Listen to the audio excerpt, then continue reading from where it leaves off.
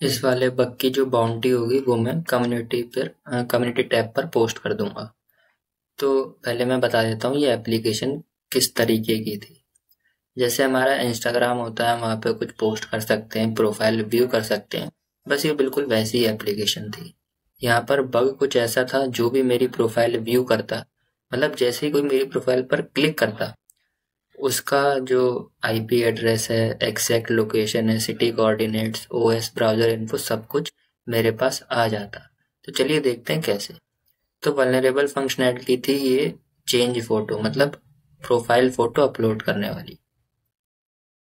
और जैसे ये मैंने कुछ यहाँ पे अपलोड कर दिया राइट क्लिक करके जब मैं करूँगा open image in new tab तो मुझे पता लगा कि ये किसी दूसरे डोमेन किसी दूसरे सब डोमेन को यूज़ कर रहा है। इमेज होस्टिंग के लिए, ठीक है? और आइडेंटिफायर कुछ अपना बना दे रहा है। मतलब हमारी इमेज तो कुछ दूसरी होगी, यहाँ पे अपना चेंज कर दे रहा है नंबर वगैरह कुछ ऐड कर दे रहा है। और ये जो है, वो यूज़ कर रहा है एस थ्री बकेट की। ये आप वेपिलाइजर से पता कर सकते हैं। तो अब हमारा स्टेप क्या है? हमने यहाँ पे चेंज फ़ोटो पर क्लिक करा। और हमारे पास एक मेन्यू दिख जाएगा कि अपनी पिक्चर्स को सिलेक्ट करो। हमने कोई भी एक इमेज सिलेक्ट कर ली और पर्प सूट में हमारी प्रॉक्सी रहेगी ऑन तो अब जो रिक्वेस्ट जो मैं आपको दिखाने जा रहा हूँ, वो पर्प सूट की है पिक्चर अपलोड करने के बाद मतलब अपलोड पे क्लिक करने के बाद। तो यहाँ पे गेट रिक्वेस्ट गई। देखो, जब हम नॉर्मली फ़ोटो वगैरह अपलोड करते हैं तो पोटिया पोस्ट रिक्वेस्ट जानी चाहिए, लेकिन यहाँ पे गेट रिक्वेस्ट गई। और ये जो बेस सिक्सटी फोर डेटा है, ये इमेज का है, जो हम अपनी इमेज सेलेक्ट कर रहे हैं पीसी से।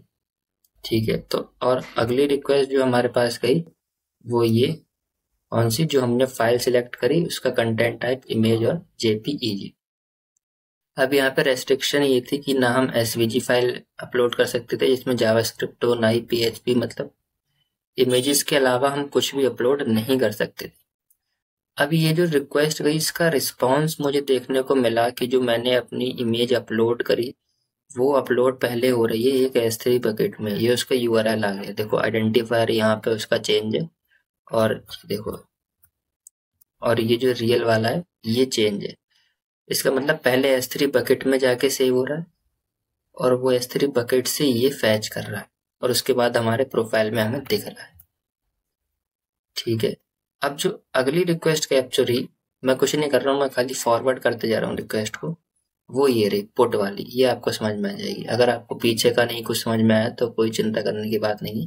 यहाँ से देखिए, ये पुट रिक्वेस्ट की, अब देखो इमेज हमारा, देखो वो वाला डोमेन आ गया। एस थ्री बकेट का रियल डोमेन ना आके वो वाला आ गया, जो हमें ब्राउज़र पे दिख रहा था। तो ये रहा हमारा यूआरएल इमेज का, जो हमारी इमेज अपलोड हो रही है।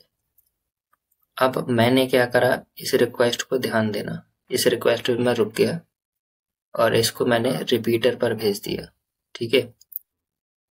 अब मैं चला गया आईपी लॉगर पर। यहाँ पे लोकेशन ट्रैकर का सिर्फ़ यूआरएल कॉपी ना करके हम पिक्सल वाला यूआरएल कॉपी करेंगे, क्योंकि मैंने क्या बताया, वो सिर्फ़ इमेजेस ही एक्सेप्ट कर रहा है।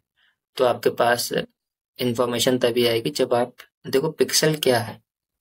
मतलब इमेज क्या है? इमेज है कलेक्शन ऑफ़ पिक्सल्स तो ये पिक्सल एक इमेज की तरह ही काम कर रहा है। देखो, लिखा इनविजिबल इमेज हम इसकी मोर डिटेल्स पे गए और ये वाला लिंक जो है वो कर लिया कॉपी और अपनी जो पुरानी रिक्वेस्ट थी पीछे इमेज वाले यूआरएल को अपने आईपी लॉगर वाले पिक्सल वाले यूआरएल से इंटरचेंज कर दिया और ये रिक्वेस्ट कर दी हमने फॉरवर्ड तो आप देख सकते हो हमारी इमेज सक्सेसफुली चेंज हो चुकी है और हमारा आईपी लॉगर वाला यू आर एल यहाँ पे साफ़ साफ़ शो हो रहा है।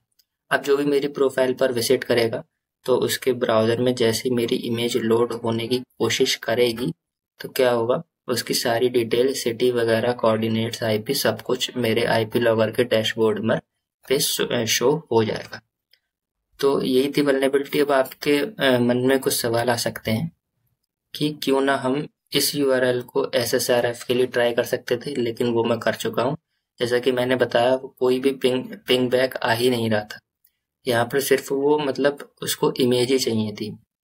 और ये जो यूआरएल है, ये पिक्सल की तरह काम कर रहा है, ठीक है? और यहाँ पर आप सोच सकते हैं कि क्यों ना अटैकर अपनी वेबसाइट पर कोई एक्सेस वाली एस इमेज उसको अपलोड करता, है ना? और फिर यहाँ पर दे देता उसका यूआरएल तो मैं आपको बता दूँ जब आप जैसे प्रोफ़ाइल पर गए राइट क्लिक करा, ये देखो। तो जब आप इसको इंस्पेक्ट एलिमेंट करोगे ना, मेरी इमेज को या फिर किसी की भी इमेज को तो आपको देखेगा कि इमेज टैग के अंदर सोर्स एट्रीब्यूट के अंदर वो इमेज आ रही है। मतलब जहाँ से भी वो इमेज फैच कर रहा है, जैसे images dot example dot com और ये आइडेंटिफायर कुछ भी। ठीक है? तो बाय डिफ़ॉल्ट इमेज टैग में सोर्स एट्रीब्यूट के अंदर हम कोई भी यूआरएल अगर दें तो वो एग्जीक्यूट नहीं करता मतलब रेंडर तो करेगा, लेकिन वो बाय डिफ़ॉल्ट ब्लॉक करता, अगर जावा स्क्रिप्ट वगैरह की कुछ पेलोड होगी। और जो हमारी मलिशियस मलिशियस फ़ाइल है, इसमें तो सिंपल की बात है सिंपली बात है कि एक्सेस की पेलोड होगी तो वैसे ही ब्लॉक हो जाता है। इसलिए ये वर्क नहीं करता है।